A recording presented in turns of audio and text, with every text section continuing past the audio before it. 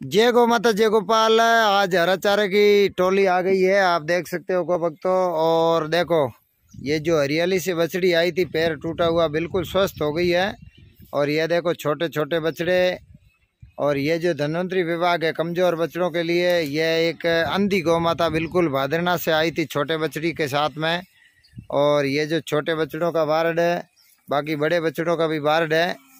देखो, ऐसे अलग अलग छोटे बच्चों की सेवा होती है। जो ज़्यादा कमज़ोर है, उनके लिए अलग वार्ड है। जो छोटे छोटे बछड़े हैं, उनके लिए आपका दिया हुआ दान है, गौ भक्तों, ऐसे प्रतिदिन लाइव सेवा में आपको देखने के लिए मिल रहा है।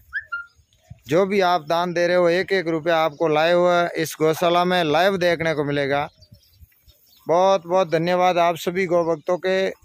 सहयोग और आशीर्वाद से गौ माता के लिए प्रतिदिन दो लाभ सी बाटा, लापसी, हरा चारा, जो भी आ रहा आपके सामने लाइव है, आपका दिया हुआ एक एक रुपया दान का गौ सेवा में काम आ रहा। बहुत बहुत धन्यवाद सभी गौ भक्तों ने सहयोग किया। उन सभी गौ भक्तों को बहुत बहुत धन्यवाद। गौ माता का आशीर्वाद हमेशा बना रहे। जय गौ माता, जय गोपाल।